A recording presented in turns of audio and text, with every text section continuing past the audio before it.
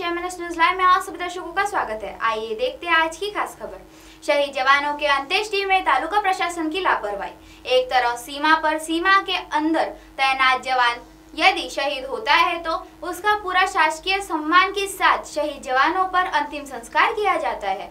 शहीद जवान के प्रति पूरा देश, देशभक्त की नाते शोक व्यक्त करते हैं। दूसरी ओर प्रशासन में बैठे लापरवाह अधिकारी शहीद जवान के प्रति अनास्था दिखाकर अपने मगरूरी का परिचय देते हैं।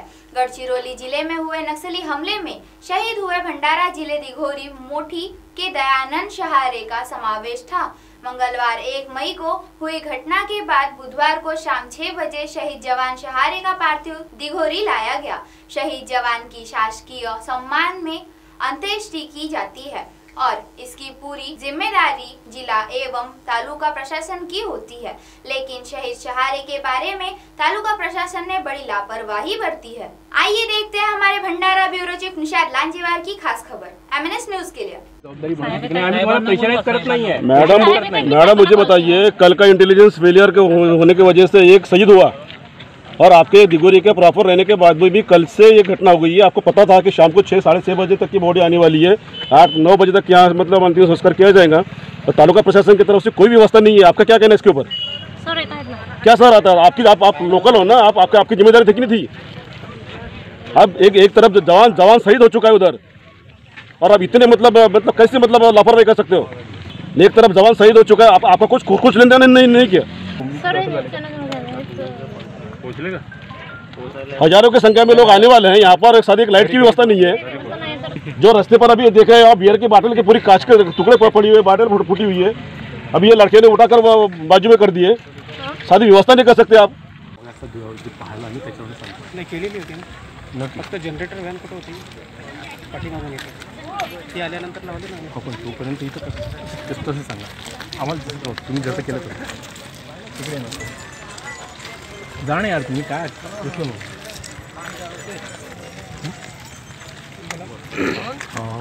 सर आम्ही इथं आता आपण शहिदासाठी आपण प्रशासकीय यंत्रणेने व्यवस्था केली नव्हती. इथं सगळा पण अंधार पडलेला होता. अगदी मग शेवटच्या टोकावर तुम्ही ते जनरेटर लावून ते द- नाही काही तुम्ही बघाल ना हे पूर्वीच लावलेली होती. आपले जे फोकस दिसत आहे आणि आमची जनरेटर व्हॅन पाठीमागून होती.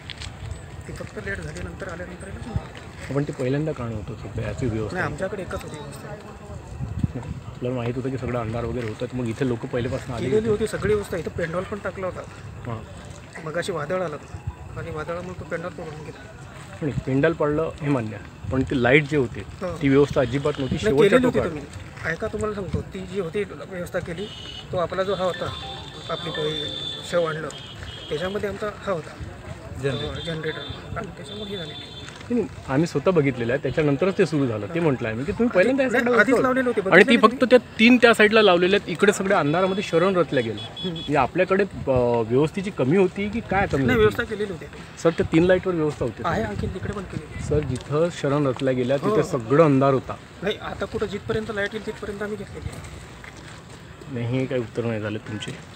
ठीक आहे थँक्यू ठीक आहे थँक्यू गढ़चिरौली के अ, जो कल नक्सली का हमला हुआ, उसमें दिगोरे के जवानंद शहारे शहीद हुए। उनके ऊपर अभी अंतिम संस्कार किया गया। कल की घटना थी, आज पूरा दिन निकल गया, लेकिन तालुका प्रशासन या जिला प्रशासन की तरफ़ से यहाँ जब तक बॉडी पहुँची नहीं, तब तक कोई लाइट की व्यवस्था नहीं की थी। अंधेरे में पूरी पर यहाँ मतलब पूरी व्यवस्था की गई है। लाइट की व्यवस्था नहीं और इसके बारे में हमने तहसीलदार को पूछने के बाद में हमारे एम न्यूज़ चैनल को बोलने के लिए वो तैयार नहीं है। मैं एम न्यूज़, भंडारा। देर रात को पार्थिव की अंतिम यात्रा निकाली गई। अंधेरा पड़ चुका था। घर से चूलबंद नदी का अंतर डेढ़ किलोमीटर का था। मतलब अंतिम यात्रा रात को आठ बजे के बाद में ही शमशान भूमि पहुँचने वाली थी। इसकी पूरी जानकारी लाखनदुर के तहसीलदार संतोष महल्ले को थी। लेकिन तालुका प्रशासन ने अनदेखी कर शमशान भूमि में उजाले के लिए कोई व्यवस्था नहीं की। हज़ारों लोग घाट पर अंधेरे में घूमते नज़र आए। जब शहीद की अंतिम यात्रा चूलबंद नदी घाट पहुँची तो वही के लाइट का इस्तेमाल किया गया। शरण रचने से लेकर सारे काम मोबाइल के टॉर्च में किए गए। शहीद शहारे को मुखांगी देने के बाद प्रशासन की ओर से हुई लापरवाही के बारे में जब तहसीलदार मोहल्ले को पत्रकारों ने पूछने पर अपने मगरूरी का परिचय दिया।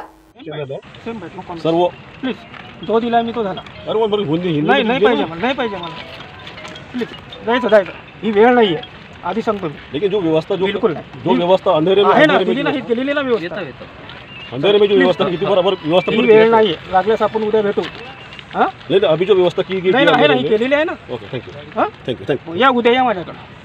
आपण करू आता ही- कशाला? ही वेळ आहे देतो मग सांगतो तुम्हाला नाही व्यवस्था कशा कोणती. कशा कशाला उद्या उद्या? अरे मी- मैं काय केले कल आपने आपने आपने सर आपने सर बाइट नहीं आपने सर बाइट नहीं दिया। हाँ। आपने नहीं बोल दिया मैंने कुछ बोला क्या? मैं कल काय के लिए आपको तुम मिलने के लिए मैं काय के लिए वेळ कल अभी नहीं मुझे अभी चाहिए था ना। मी मेरे- मराठीमध्ये बोललो ना। हाँ तो मुझे मुझे हिंदी हिंदी में- मुझे हिंदी में चाहिए आपने नहीं बोल दिया। हिंदी ट्रांसलेट मेरा हिंदी चैनल है आपने नहीं बोल दिया। मैंने कुछ बोला कि आपको मैंने कुछ आपका आर्गुमेंट किया क्या? आपने नहीं बोल दिया ना? फिर कल काय के लिए हो हमारे हीच वेळ आहे ना जी आता? भैया कल आके ये ये शहीद का शहीद जवान का शहीद जवान का बाइट लेने के लिए कल मैं आने वाला हूँ क्या? ठीक आहे ओके। थैंक यू देखा आपने किस तरीके से महाले तहसीलदार अपनी लापरवाही को छिपाने का प्रयास कर रहा था, जिसके चलते शहीद जवान के रिश्तेदार और शुभ चिंतकों में महाले तहसीलदार के बारे में गलत प्रशासकीय अधिकारी है और इसे तत्काल निलंबित करने की मांग की जा रही है। एक तरफ़ तहसीलदार लापरवाही बरतते रहे तो दूसरी ओर पुलिस विभाग भी पीछे नहीं रहा। शहीद शहारे को उसके घर में पुलिस की ओर से पहली सलामी देते हुए कोई वरिष्ठ अधिकारी घटनास्थल पर मौजूद नहीं थे। सलामी के बाद वरिष्ठ अधिकारी की अनुमति लेनी पड़ती है, लेकिन वहाँ कोई वरिष्ठ अधिकारी नहीं होने से पुलिस सिपाही ने दर्शन करने आए एक नेता को ही अपना अधिकारी समझकर उनसे अनुमति ली। इतनी बड़ी लापरवाही पुलिस प्रशासन कैसे कर सकती है? तालुका प्रशासन शहीद सहारे के साथ एक आम आदमी की तरह बर्ताव किया। यह शहीद जवान का अपमान नहीं है तो क्या है? लोगों के बीच भारी रोष दिखाई दे रहा था।